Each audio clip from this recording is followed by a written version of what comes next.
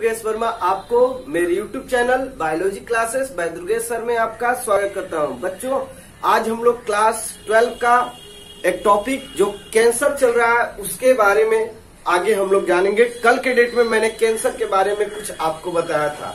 मैं आशा करता हूँ कि आप लोगों ने मेरे उस वीडियो को देखा होगा और आपको मेरे टॉपिक क्लियरली समझ में आए होंगे। इसी आशा के साथ आज का टॉपिक मैं स्टार्ट करने जा रहा हूँ और आज का टॉपिक जो है हम लोग का वो है कैंसर का कॉजेज तो टॉपिक आज का क्या है? कॉजेज ऑफ़ कैंसर तो चलिए उसको स्टार्ट किया जाए. Causes of cancer causes of cancer में अगर हम लोग जाने तो मैंने कल के डेट में आपको बताया था कि कैंसर जो होता है, ये थ्री कॉजेज होते हैं. टॉपिक क्या है हम लोग का? कॉजेज ऑफ़ कैंसर कैंसर के जो कॉजेज होते हैं, उसमें सबसे फ़र्स्ट जो कॉजेज है, वो है फ़िज़िकल सेकंड जो है, वो मेरे बच्चों को पता होगा केमिकल और थर्ड जो है, वो है मेरे बच्चों को पता होना चाहिए बायोलॉजिकल तो ये थ्री एजेंट है जिनके द्वारा कैंसर कॉज होता है. तो कैंसर अगर कोई पूछे कि कैंसर का कॉज किसके मतलब कैंसर किससे कॉज होता है तो आप बताओगे by three agent first agent is physical second agent is chemical and third is biological तो ये थ्री एजेंट होते हैं जो कॉजेज करते हैं कैंसर तो क्या होता है कॉजेज ये करते हैं? तो ये क्या करते हैं कि जो नॉर्मल सेल्स होती हैं नॉर्मल सेल्स उनको ट्रांसफॉर्म करते हैं कैंसरस न्यूप्लास्टिक सेल्स में। किसमें कन्वर्ट करते हैं? मैंने अभी बताया this agents sorry these agents these agents cause cancer ये एजेंट जो होते हैं, वो कैंसर को कॉज करते हैं और कैसे कॉज करते हैं कैंसर तो ये इंड्यूस कर देते हैं नॉर्मल सेल को कि वो किसमें ट्रांसफॉर्म हो जाते हैं? वो ट्रांसफॉर्म हो जाते हैं आपके कैंसरस न्यू प्लास्टिक सेल्स में। ये आप लोग याद रखिएगा। तो चलते हैं एक एक एजेंट के बारे में जानेंगे कि फ़िज़िकल एजेंट के अंतर्गत कौन कौन से फैक्टर कंपोनेंट आते हैं, जिनके द्वारा कैंसर कॉज होता है। तो फ़िज़िकल में अगर हम बात करें तो इसमें टू पार्ट्स में डिवाइड है। एक है आप लोग का non ionising agent non ionising नाइजिंग और इसके बाद सेकंड जो है, वो है आयोनाइजिंग नॉन आयोनाइजिंग के अंतर्गत जो आएगा, वो है आपका यूवी रेज यूवी रेज जो है, ये नॉन आयोनाइजिंग है, और आपका जो आयोनाइजिंग में आएगा, वो होगा X ray and gamma ray X ray और गामा रे जो होते हैं, ये आपके आयनाइजिंग एजेंट है और नॉन आयनाइजिंग में बेटा आएगा यूवी रे और ये दोनों कैंसर के कॉज होते हैं। ये दोनों जो फ़िज़िकल एजेंट में आते हैं, ये कैंसर के कॉज होते हैं, ये आप लोग याद रखिएगा। अब इसके बाद सेकंड जो अगर हम एजेंट की बात करें तो सेकंड एजेंट में हमारा आएगा केमिकल तो चलिए हम लोग केमिकल में स्टडी कर लें कि केमिकल में क्या आता है। तो केमिकल में जो आता है बेटा, वो आपका है स्मोक टोबैको टोबैको स्मोक जो होता है, यह केमिकल के अंतर्गत आता है, जिससे कैंसर कॉज होता है, ये आप लोग याद रखिएगा।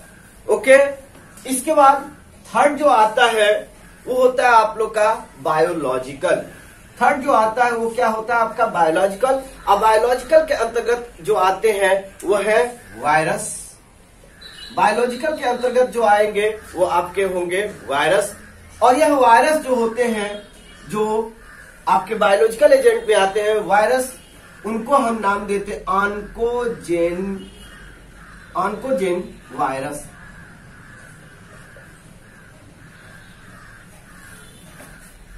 इनको जो हम नाम देते हैं वो नाम देते आनकोजेन वायरस और ऑनकोजेनिक वायरस ऐसे भी नेम नोट किया जाता है।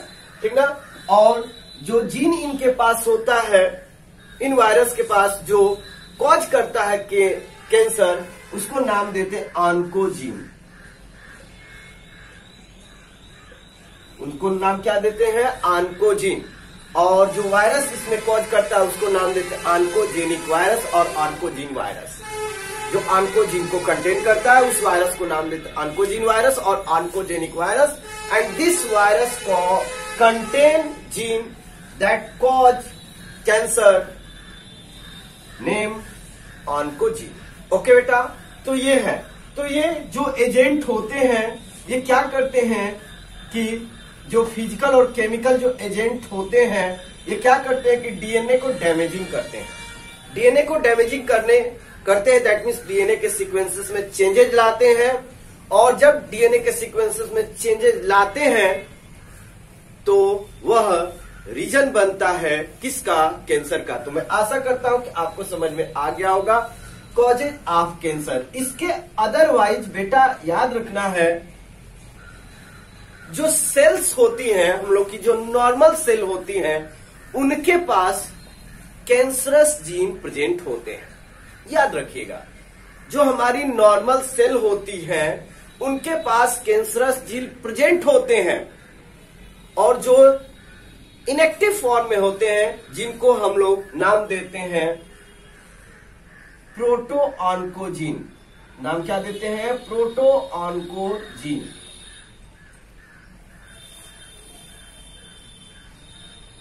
याद रखिएगा, प्रोटो ऑनकोजीन जो इस इनएक्टिव फॉर्म होता है, और ये हमारे नॉर्मल सेल में प्रेजेंट होती हैं। और यही प्रोटो ऑनकोजीन जब हमारे ये एजेंट इंड्यूस करते हैं हमारे सेल को तो ये प्रोटो ऑनकोजीन किसमें कन्वर्ट हो जाते हैं? आंकोजीन में, और आंकोजीन में जब ये कन्वर्ट होते हैं तो ये क्या करते हैं कि नॉर्मल सेल को ट्रांसफॉर्म कर देते हैं। किसमें? कैंसरस न्यूप्लास्टिक सेल में और यही कॉज होता है कैंसर का। तो मैं आशा करता हूँ कि आपको याद होगा, जिसे एक तरीके का आपके बुक में दिया गया सी सी ऑनकोजीन दिया है, उसका मीनिंग है सेलुलर ऑनकोजीन जो सेलुलर ऑनकोजीन होता है मतलब सेल के अंदर जीन प्रेजेंट होते हैं, और वही जीन को जब कोई एजेंट इंड्यूस कर देता है तो ट्रांसफॉर्म हो जाते हैं हमारे नॉर्मल सेल किसमें कैंसरस सेल में। ये आप लोग याद रखिएगा। इसके बाद आप लोग को मुझे जो टॉपिक बताना है इस कैंसर में, वो है आपका cancer detect detection and diagnosis अगला जो टॉपिक है, वो है कैंसर डिटेक्शन एंड डायग्नोसिस तो चलिए उसके बारे में हम लोग जाने। Cancer detection and diagnosis cancer को कैसे डिटेक्ट करेंगे और कैसे डायगेंगे तो इसमें हम लोग को जब स्टडी करेंगे तो इसमें दिया गया है आपका कि अगर आपको कैंसर से बचना है तो क्या करना पड़ेगा? अर्ली डिटेक्ट करना पड़ेगा। और अर्ली डिटेक्ट करके ही हम कैंसर से बच सकते हैं। तो अर्ली डिटेक्शन इसेंशियल होता है कैंसर के ट्रीटमेंट के लिए, कैंसर से बचने के लिए। जिसमें से जो टेक्निक यूज़ की जाती है, उसमें सबसे पहले है बायोप्सी। सेकंड जो है हिस्टो पैथोलॉजिकल स्टडी और हिस्टोपैथोलॉजिकल के स्टडी के अंतर्गत हम टिश्यू ब्लड और बोन मैरो में सेल्स के बढ़े हुए नंबर ऑफ़ सेल्स के जो नंबर बढ़े हुए हैं, इनके बारे में हम स्टडी करते हैं। ये आप लोग याद रखें। बायोप्सी में क्या होता है? टिश्यू के हम स्टडी करते हैं और जहाँ पर जो सस्पेक्टेड टिश्यू होते हैं, उनको हम कट करके और उसको टेस्ट करते हैं और उसके लिए उसको स्मॉल सेक्शन में कट करके उसकी टेस्टिंग की जाती है माइक्रोस्कोप से टेस्ट किया जाता है और पता चल जाता है कि नंबर ऑफ़ सेल इंक्रीज किए हैं कि डिक्रीज है। तो ये सभी किया जाता है किसके अंतर्गत? तो हमारे बायोप्सी के अंतर्गत। इसके अदरवाइज़ और भी बहुत सारे टेक्निक है जो यूज़ किए जाते हैं कैंसर को डिटेक्ट करने के लिए। जैसे में एमआरआई है दूसरा जो आपका सिटी स्कैन है एक्सरे रेडियोग्राफी है, इन सभी का भी प्रयोग किया जाता है कैंसर को डिटेक्ट करने के लिए। तो मैं आशा करता हूँ कि आपको सभी मेरी बातें समझ में आ गई होंगे। अगर कोई डाउट होगा तो प्लीज़ आप मुझसे पूछ लीजिएगा। ओके तो अगले वीडियो में आगे का टॉपिक हम देखेंगे। Okay thank you